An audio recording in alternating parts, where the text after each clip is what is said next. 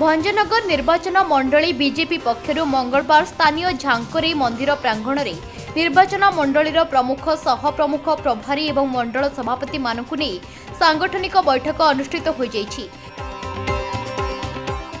ବିଶେଷକରି କେନ୍ଦ୍ର ସରକାରଙ୍କ ଯୋଜନାର କାର୍ଯ୍ୟକାରିତାର ବାର୍ତ୍ତା ଲୋକଙ୍କ ନିକଟରେ ପହଞ୍ଚାଇବା ଓ ତୃଣମୂଳ ସ୍ତରରୁ ସଂଗଠନକୁ କିପରି ମଜବୁତ କରାଯିବ ସେ ନେଇ ଗୁରୁମନ୍ତ୍ର ଦିଆଯାଇଛି। ଆଗାମୀ ଦିନରେ ରାଷ୍ଟ୍ରୀୟ ଅଧ୍ୟକ୍ଷଙ୍କ ଓଡ଼ିଶା ଗସ୍ତ ଥିବାରୁ ବିଭିନ୍ନ ପ୍ରସଙ୍ଗରେ ଆଲୋଚନା ହୋଇଥିବା ଜଣାପଡ଼ିଛି।